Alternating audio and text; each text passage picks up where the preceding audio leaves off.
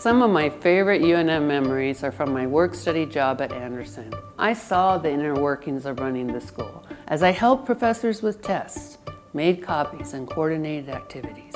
It was just a little peek behind the curtain of what it takes to run the management school. I also fondly remember my accounting class junior year when I was expecting my first child. The class had bets on my delivery date.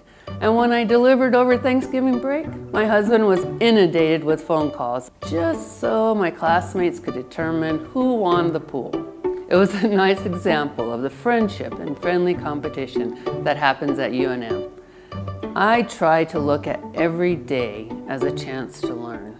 I try to surround myself with folks that challenge me, come up with innovative ideas, and ask why.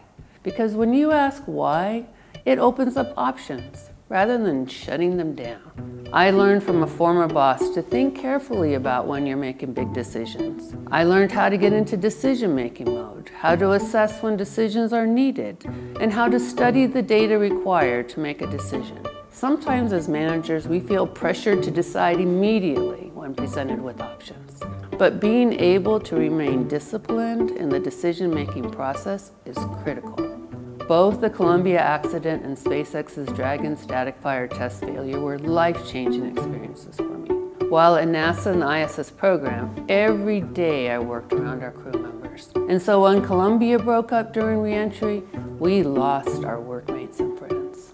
More recently at SpaceX, we had just successfully completed our SpaceX Demo 1, and we did a static fire test using the Demo 1 capsule. The vehicle blew up during the test. And thankfully it was unmanned, because if it had been crewed, it would have been catastrophic. That failure again hit home and reinforced that we can't ever be complacent in human spaceflight. Just like the shuttle program successfully returned to flight after Columbia, our SpaceX team successfully flew our Demo 2 mission less than a year later. And the lessons we took from Columbia and Demo 1 were clear contributors to the success and safety of the Dragon program. So my best advice is to view your educational and life experience as a toolbox. You're filling your toolbox every day with experiences that will help you in your future.